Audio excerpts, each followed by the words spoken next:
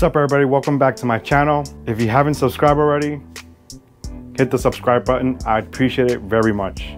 But this is my top five most expensive Funko Pops in my collection. Coming in at number five is the Baby Audrey 2. This is one of my favorites. Uh, I don't know if you've ever seen the movie Little Shop of Horrors, but it's one of my favorites, one of my kids' favorite movie. I do got the normal size Audrey. This one was one of my first, around my first purchases that I got, that I had to had. But since this is my top five most expensive, the baby Audrey comes in at $70 as of now, according to the Funko app. I don't know how accurate it is, but $70 worth for this guy. Coming in at number four, it's another one of my favorites that this one I purchased off a flea market about a year ago. Disney's Pixar Bow. And according to the Funko app, this goes for $85. I think I paid just about the same amount for this one. So this one hasn't gone down in value. All right, this is where it gets a little more exciting because these are one of my favorites. Coming in at number three is the Ghost Rider.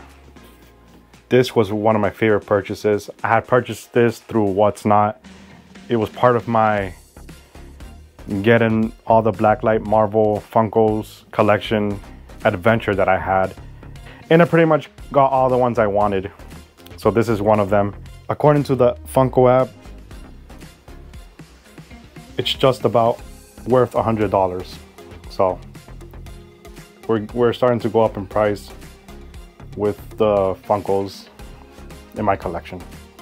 These two are probably my favorite ones in my whole collection at least one of my favorite ones. Still Blacklight, but coming in at number two is Black Light Spider-Man. According to the Funko app, this is worth $105. I don't remember how much I paid, but it was definitely around that area. I also purchased this through Whatnot. All right, and then the one everybody's been waiting for, my top number one most expensive Funko in my collection, at least, is the Blacklight Carnage. According to the Funko app, this is worth $145. Back a year ago when I got this through Whatnot, I think it was worth 200 or even more. This was one of my most exciting purchases. I was so happy to get this and it's still one of my favorites. This one and the Blacklight Spider-Man. If you like this video and you want to see more Funkos, please tell me in the comments, like the video, and don't forget to subscribe. Peace. See you in the next one. I don't know why it's so hard making videos, but I dropped one of my Funkos, one of my expensive ones. I almost dropped the second one. All right, well, that's it. I guess I put all the Funkos back, right? Yeah, this is that one I dropped. Oh, wait. I can't put them away. I gotta make a spinny video.